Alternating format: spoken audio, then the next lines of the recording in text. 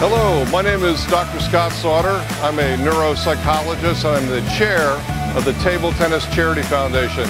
Our charity partners are Alzheimer's, Parkinson's, People in Need, and Vanguard Landing.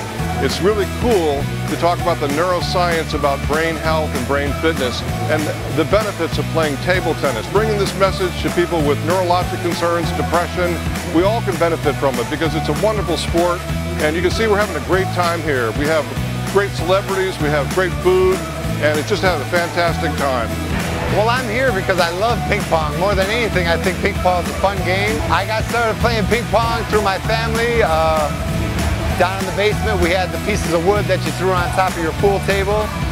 And then I really loved it when I got to Duke and in the NBA. I played a lot at Duke in the NBA.